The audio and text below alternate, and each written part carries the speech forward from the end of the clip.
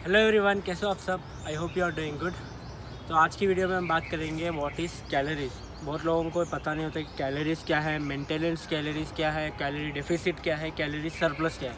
So in this video I am going to show what is calories and what is calorie deficit surplus and maintenance calories which will help you in body building muscle loss हर कोई field में आप use कर सकते हो इसकी.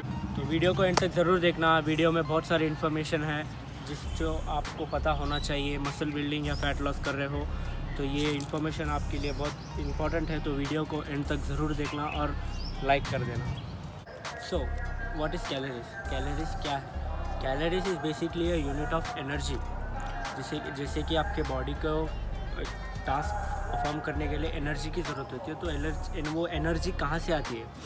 तो energy आती है कैलोरीज की वजह से। जो आपके इंटरनल ऑर्गन्स भी जो फ़ंक्शन करते हैं उनको भी कैलोरीज चाहिए होती है। It's basically just like fuel for your bike जैसे कि आप गाड़ी चाहिए तो गाड़ी के लिए, गाड़ी चलाने के लिए पेट्रोल की ज़रूरत पड़ती है फ्यूल की ज़रूरत पड़ती है। तो अपने बॉडी के लिए भी फ़ंक्शंस परफॉर्म करने के लिए फ्यूल की ज़रूरत पड़ती है which is known as calories आप कितनी भी जिम कर लो, कितनी भी एक्सरसाइज कर लो, बस डाइट इज़ नंबर वन अगर आप डाइट सही नहीं लोगे तो आपको रिज़ल्ट नहीं मिलेंगे।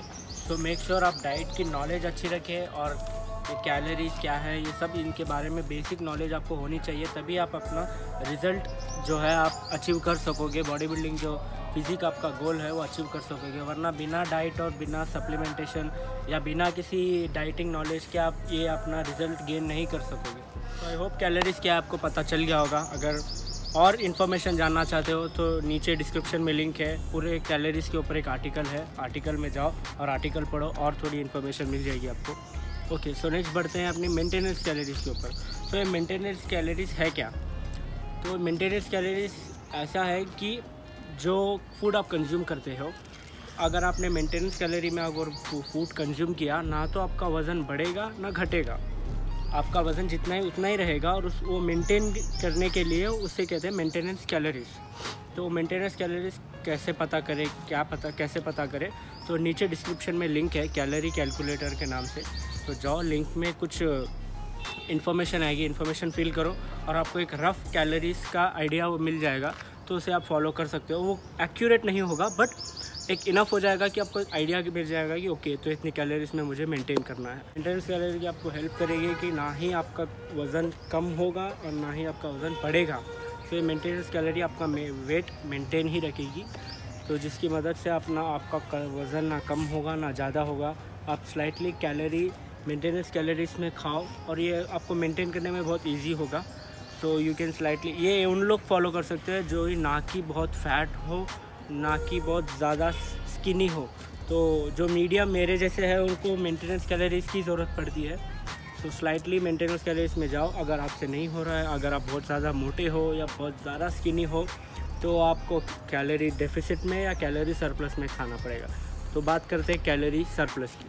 प्लस होता क्या है कि बेसिकली जब आप, आपकी मेंटेनेंस कैलोरीज अगर 200 2000 है तो 2000 से 200 कैलोरीज अप करने की वजह से उसको कहते हैं कैलोरी सरप्लस यानी आपकी मेंटेनेंस कैलोरी से ऊपर खाते हैं ना, उसको बोलते हैं कैलोरी सरप्लस तो कैलोरी सरप्लस बेसिकली ये डाइट थोड़े स्किनी लोग फॉलो करते हैं, क्योंकि उनका वेट गेन हो जाए या कुछ लोगों को बल्किंग के वक्त ये काम आ सकता है। तो इसीलिए कैलोरी सरप्लस में खाना चाहिए। जब आप, जब भी आप बल्क कर रहे हो तो कैलोरी सरप्लस में खाने से ये फ़ायदा होगा कि आपका वेट थोड़ा इंक्रीज़ होगा।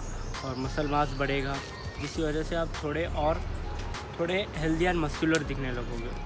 तो आप इस कैलोरी सरप्लस को फॉलो कर, बात करते हैं कैलोरी डेफिसिट की। कैलोरी डेफिसिट क्या होता है? जब आपकी मेंटेनेंस कैलोरीज होती है, क्या आप कैलोरी सरप्लस में मेंटेनेंस कैलोरीज से अप कैलोरीज करते हो? और या कैलोरी डेफिसिट में आप डाउन करते हो? मतलब आप जब कैलोरी सरप्लस में होते हो तो आपकी मेंटेनेंस कैलोरीज से 200 कैलोरीज एक्स्ट्रा खाते हो। अब आप, जब आप डेफिसिट स्टेट में होते हो तो 200 कैलोरीज कम खाते हो।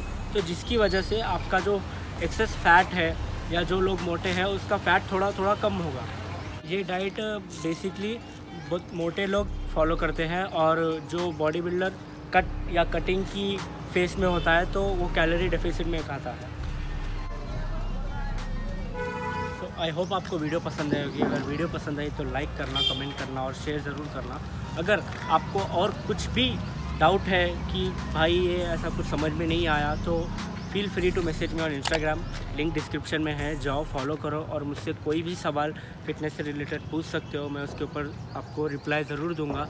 अगर आप चाहते हो कि ये छोटी सी इन्फॉर्मेशन वीडियो थी। अगर आप चाहते हो कि मैं हर एक कैलोरी सरप्लस मेंटेनेंस और डेफिसिट के बारे में एक डिटेल्ड वीडियो बनाऊँ तो प्लीज़ नीचे कमेंट में बता दो, जिससे कि मुझे भी पता चलेगा कि आप लोग भी इंटरेस्टेड हो मेरी वीडियोस में और आपको भी मेरा कंटेंट थोड़ा पसंद आ रहा है। तो अब मैं उसके ऊपर डिटेल वीडियो ज़रूर बनाऊँगा। ये वीडियो सिर्फ़ आपको मालूम करना था कि आपको किस स्टेट में जाके आपकी डाइट फॉलो करनी चाहिए डाइट प्लान बनाना चाहिए। आप किस फेस में हो, आपको क्या करना चाहिए? पहले बल्किंग करना चाहिए या कटिंग करनी चाहिए, या आप मेंटेनेंस कैलोरीज में खा सकते हो।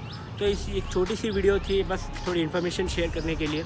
अगर आप चाहते हो कि और डिटेल्ड वीडियो आए, और ऐसे टॉपिक्स के वीडियोस आए तो नीचे कमेंट करो चैनल को सब्सक्राइब करो। आप वीडियोस तो देख रहे हो वीडियोस के व्यूज़ तो जाते हैं बट आप सब्सक्राइब नहीं करते हो। तो जाओ सब्सक्राइब करो। तो इतना था आज के वीडियो के लिए। Hope you like the video मिलते हैं अपनी नेक्स्ट वाली वीडियो में। तब तक के लिए से स्ट्रॉन्ग पीस और इंस्टाग्राम पे फॉलो करना ना भूलना।